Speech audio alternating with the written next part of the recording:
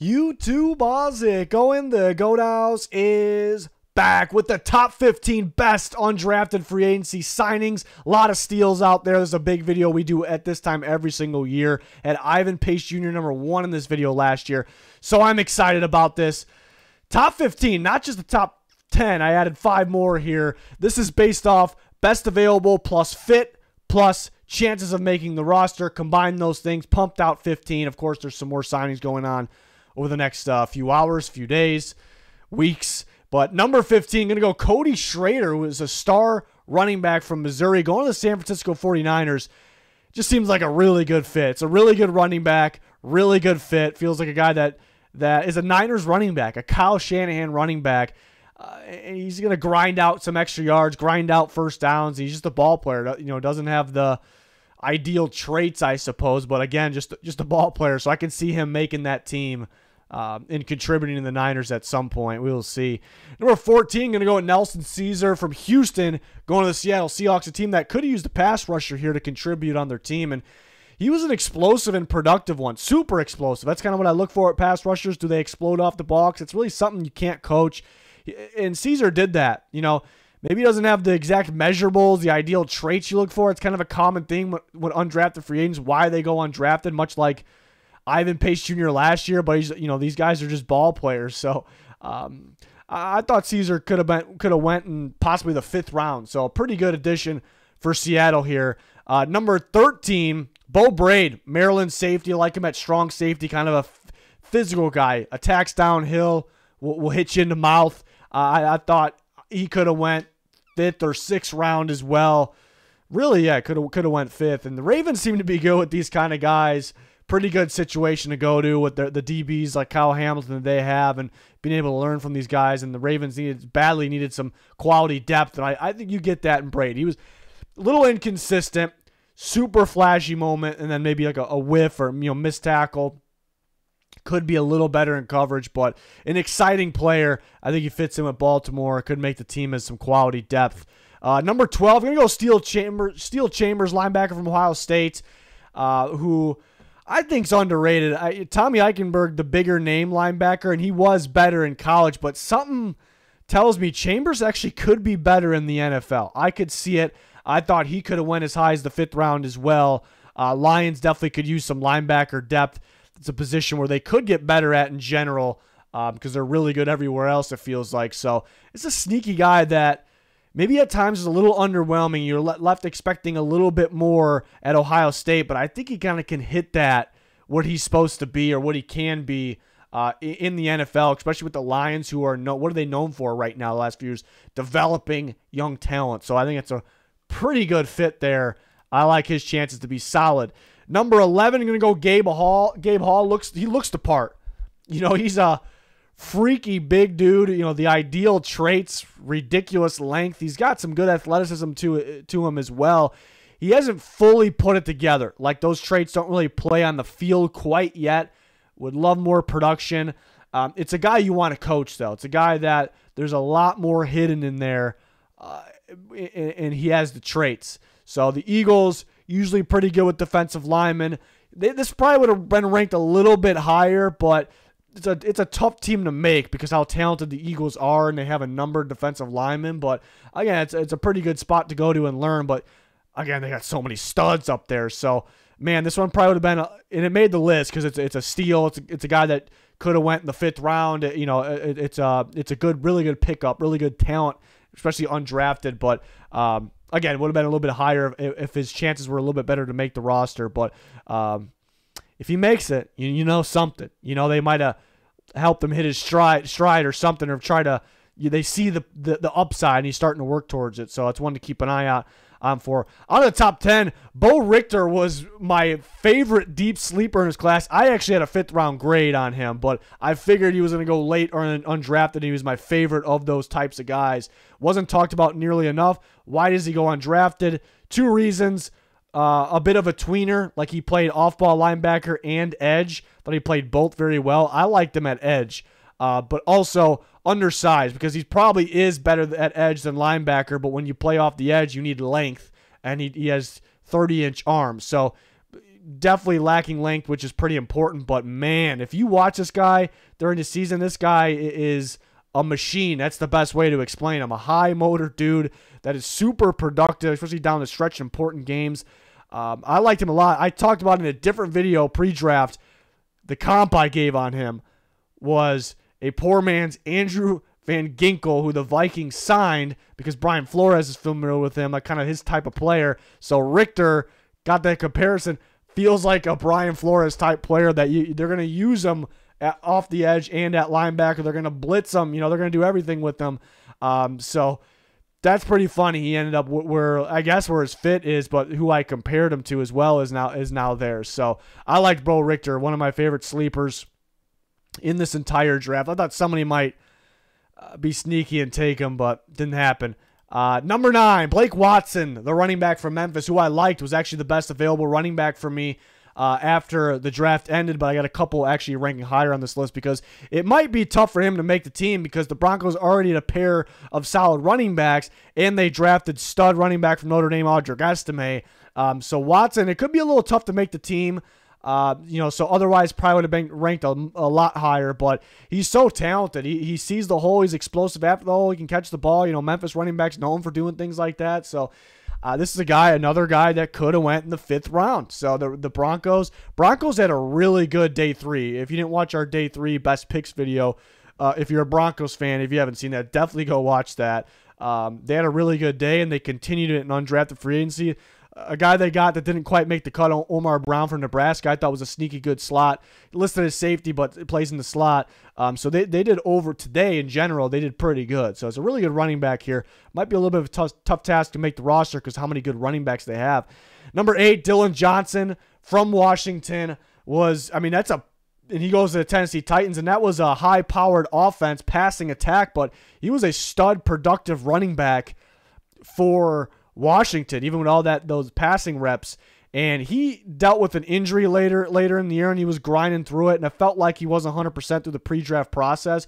So that's why he's a little different how you would grade him as an undrafted guy versus a draft pick. Because if a guy has a you know dealing with an injury right now, you're not going to grade him as high as he is if you're 100% because you're putting a lot of risk making that pick. But once they're undrafted, it's like, let's just go get the best players. There's no risk in this. So that kind of bumps his like his stock and his value up to me um, because you're not really worried about the risk of him being you know recently injured. Uh, but he's he's tough. You know he's physical. He'll bounce off tackles. Um, home run plays for Washington like crazy. He didn't time super fast, but I think he plays faster than that. But that that is his knock. Doesn't you know isn't the fastest guy in the world. But the Titans have Tony Pollard, big addition. Um, kind of a do it all back. Could catch the ball very well, but pretty speedy. Uh, and then they have Tyjae Spears, who's just pure speed, can catch the ball as well. They don't have Derrick Henry anymore. What are they missing? They're missing a power back. They're missing a phys- physical back here, and they add that in Dillon Johnson, who is probably one of the better ones that could have got drafted uh, on day three and did not. So I like his chances to make the team as the running back three, kind of that flavor that they do not have out there fully. So I like that one a lot uh, for Tennessee. The more I'm talking about, the more I'm liking it too. Could have ranked it earlier or higher, but there's some really good ones here. Fabian Lovett. We're not done talking about the Chiefs after this. We're going to talk about a few teams multiple times. Uh, Fabian Lovett, interesting prospect because this is a damn good nose tackle. This guy stops the run at a high level like a tank on the inside. Again, really stops run at a high level. So that made you say, this guy should get drafted how good he stops the run. But again, it's a passing league, and he didn't play a ton of snaps because Florida State would mainly use him on running down. So you have to take him off the field on passing down. So you don't love that, and that's probably that. That's not probably why. That's why he went undrafted. Um, it's because he's not going to be for everybody, and he's kind of limited to running downs. But he has a role, and that is something that's important. It's stopping the run, and he's polished doing that. So. Uh, and uh, you know, going and getting in an NFL program, especially the Chiefs with Chris Jones and that coaching staff, he can develop more more of a passing down role. So, um, and again, it's a stud run defender. So he's a beast. Um, so I, I, I, like that one for the Chiefs there. I thought another guy that a lot of the guys we're talking about so far, I thought could have went in the fifth round. Fifth round, I, I thought he could have went there. Not really a surprise he dropped because again, a little limited the running downs, but he's so good in that category, uh, and it, that is still very much important. Uh, number six, the Vikings again. Said we are going to mention multiple teams multiple times. Chiefs and Vikings were actually not done with. Um, Dwight McGlothern, uh, who was a former LSU corner, went to Arkansas, and he had an incredible year for them. Big time playmaker in zone coverage, and Brian Flores and the Vikings kind of moved towards more zone coverage than Flores ran the pass this past year. They needed corner help. They did draft Khyree Jackson, so you know we'll see. It might be a battle to make the team, but they needed corner help. There's nothing really set on that. Like Byron Murphy is like far and away the best corner on that roster, and, and you know they added Shaq Griffin. Um, you know they got a couple other young guys, but nothing's really set there. Um, he had a really good year. He does a really good job reading the quarterback and jumping routes and making plays in the ball. He could be a little more consistent, kind of maybe just kind of going for. He kind of can get fooled by the quarterback, but sometimes he. That's how he makes his money. You know, that's how he makes the big plays. Um, you know, LSU could have really used him still if they had him this year, but um, yeah. So I think that's a solid corner. That another one that I thought could have went in the fifth round. So um, really solid corner for Minnesota there. Really surprised he didn't get drafted. Uh, number five, the Chiefs again. Curtis Jacobs uh, from Penn State, super flashy linebacker. Yeah, he's not the most powerful linebacker. Wish he had a little bit more physicality, a little more size. Penn State would play him pretty wide for an outside linebacker at times, so I guess that's the issue. This feels like it could be a Willie Gay Jr. replacement, like how they used him. Uh, it's a flashy, athletic linebacker. He, he's rangy, can get downhill. Um, he'll wrap you around around your ankles and, and bring you down. You know, so super athletic. Penn State, Penn State keeps pumping out these freak athletic linebackers, and they end up being something. And the Chiefs are kind of good with like the non-big name linebackers. I know Nick Bolton's a big name now, but they kind of made him into that, and he made himself into that. But they're kind of good with these types of guys, and they definitely needed depth pretty badly. Um, so I think he makes the team, and I think again, this is kind of like a Chiefs guy that could that can work out. Again, could he be like a Willie Gay type player? The more the more I'm talking about this guy, I want to move him up more too. I did the same thing with Dillon Johnson and Titans. So we got a lot of good ones here that just make so much sense as fits and chances to make the roster. Uh, I thought he could. I thought he could have went in the fourth or fifth round. Um, but not super shocking he didn't go that early. Well, you know, it's a little shocking he didn't go at all, but that early because uh, um, yeah, a little undersized, I suppose. Um, could add more physicality, but a freak athlete. Number four, the Chiefs. Third one for the Chiefs, Amani Bailey. I loved Amani Bailey. I, I mean, if you watch TCU, you probably loved him as well because he was explosive. He was hitting home runs like crazy. He was breaking tackles like crazy. He was so elusive. The contact balance was there. I thought people were sleeping on him. Um, another guy I thought could have went in the fifth. Um, you know, I, so I, there's a guy that I just really liked and a guy that is really good value, you know, especially undrafted. But I love the fit. Again, the Chiefs are good with. Look at Isaiah Pacheco. I mean, what that guy was at Rutgers, he was just a physical dude that was super high motor, that loved the game of football. And I think Bailey is a lot of that. Um, and, and, Pacheco was a late round guy. Bailey was uh, supposed to be a late round guy. Ends up going undrafted. And they don't have a long list of running backs. They bring Clyde Edwards-Helaire back, but doesn't mean they're set with their running, you know, their backup running backs. I can see Bailey making that team and being a factor, especially you know into the future because running backs don't last forever. So um, the way Pacheco plays, you know, I'm not doubting that guy. I love that guy, but um, you know they might need a starter, and you know I, I don't think that soon, but th- this could be a guy that I, I think he goes undrafted because he's short. He's really short, and he's not super speedy. He hits some home runs though, but the guy can play. He sees the hole, hits it, breaks tackles. He's gone. You know, so I I, love Amani Bailey's game. That's one of those sleeper running backs that you can tell right away if running backs can play or not. It sure looked like he can play. TCU has been having some pretty good running backs too.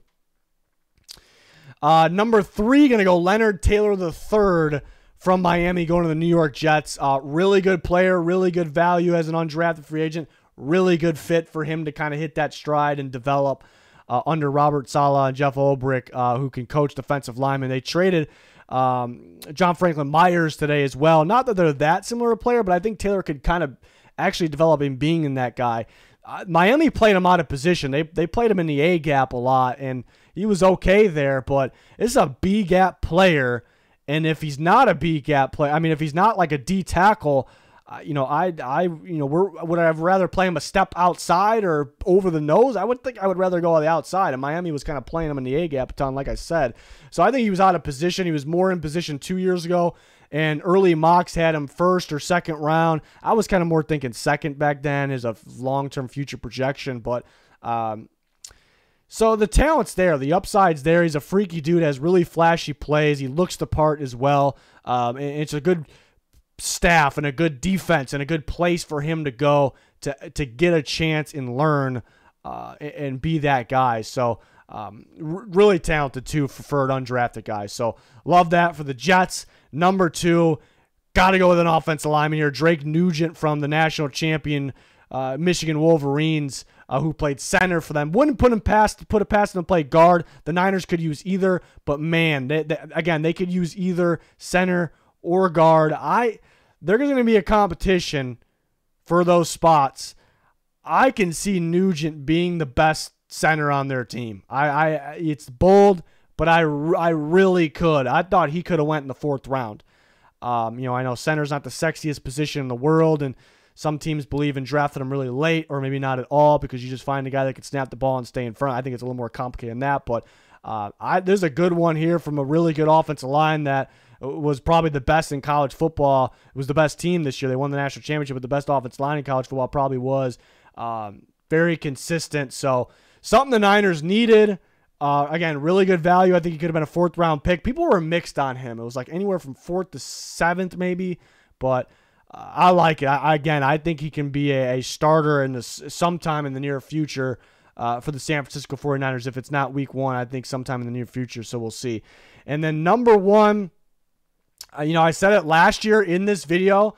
It was crazy too. If you follow us on Twitter, but all right, first off, last year in this video we had Ivan Pace Jr. Couldn't believe he wasn't drafted. He was such a productive, big time player in college, and he goes to a perfect fit.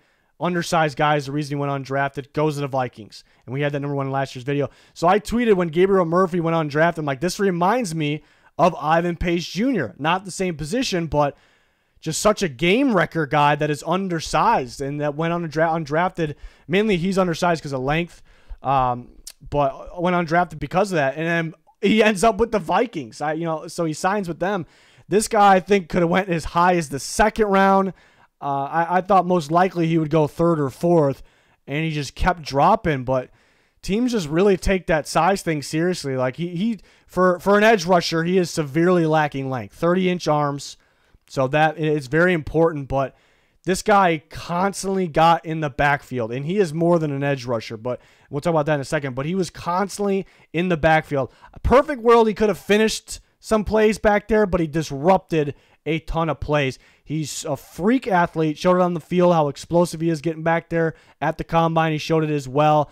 Um, but I loved how UCLA used him, and maybe some teams had a problem with that because a lot of his production came from being in unique situations uh, you know, and moved around a bit. And maybe teams didn't really have a plan for that. You know, maybe you, are looking at him, you go like, yeah, pretty explosive, pretty athletic, but you have to use him this way. We don't really want to do that. We don't. We have a guy that does that, so that could be another reason as well.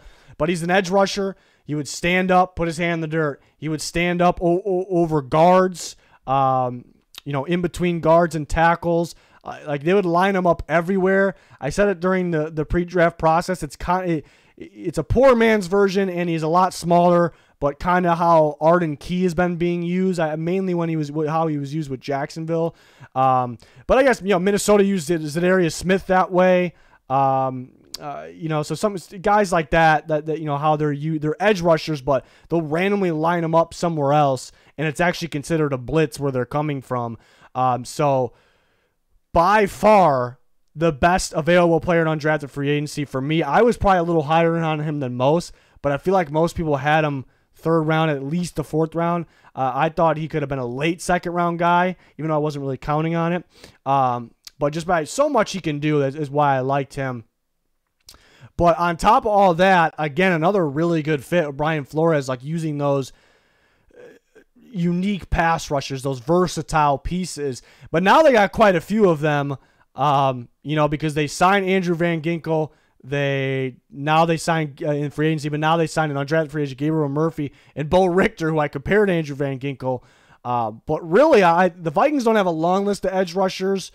And, uh, you know, even though they're both versatile, I wouldn't really compare Murphy and Richter. Um, you know, they both can play edge. Their other position, Murphy's just still a pass rusher lining up in different spots. Richter can actually play off the ball, so he could actually make the roster doing that. Um, just really good Brian Flores fits. Uh, but Murphy was going to be, you know, a lot of this was based off fits, and Murphy was a good fit with Minnesota, but he was going to be no, number one, even if he went somewhere I don't think he fit because – he was just that that much far and away like the best available player to me. So uh, some good ones here. There was some. There's some other good ones. There's some that are still happening. Um, a guy that I liked. I didn't. By the time we're you know recording this, uh, Marcus Rosemy-Jacksaint. Uh, I didn't from Georgia. I didn't see him sign anywhere. Like he's a little underrated because he's not the fastest guy, but it's a Georgia receiver that can play. He's consistent. I think he had zero drops this year, so great hands. Um, by the time of recording this, he did not sign. So that's one. I don't know if he would have made quite made. He would have on the fringe of making this, um, but that was a sneaky one too, off the top of my head. Uh, you know, some safeties out there that were pretty good. More running backs. Uh, so we're gonna take a look at, at it, see if there's more signings. Uh, there's some really sleep, sneaky, deep, deep sleepers I like. So I kind of want to talk about those guys where they go if they sign somewhere. Follow us on Twitter for all this talk. Uh, but go to our channel, check out our recent videos covering each day of the NFL draft.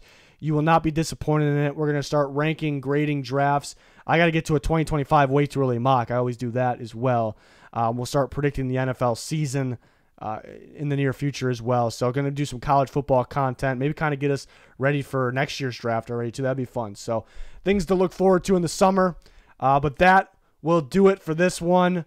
Thanks for watching. Let me know your thoughts in the comments on undrafted free agents, but that'll do it. Goodbye.